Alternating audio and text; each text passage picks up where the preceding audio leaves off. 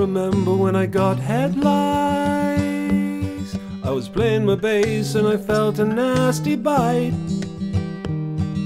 It wasn't very nice. I can't remember what song it was, but I think it was a hard day's night. So the doctor gave me some cream to try. Once after breakfast and once again at five. And once at night. The tube was fitted with a nozzle through which the cream could be applied. Head lice wide. Head lice wide. Human blood they need to survive. The lice infestation just wouldn't get cleared. And to make matters worse, they moved down to my beard. My lovely beard.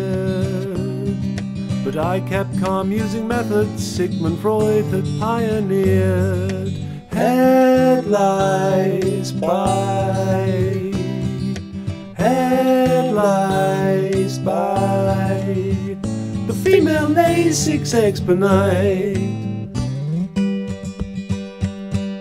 Well, I shaved off all my bodily hair, and before you ask, I even shaved down there. You know where. So the lice jumped off and said, Hey, let's be friends, now put it there. Head lice high, head lice high. We'll be best friends till the day we die. It was 40 years ago tonight, and I'm still friends with those very lice. Well, their ancestors to be precise. They've even started a band up and they've asked me for advice. They've even started a band up and they've asked me for advice.